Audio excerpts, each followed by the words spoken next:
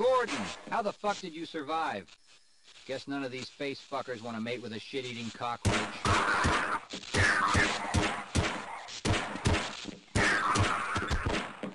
Got another one.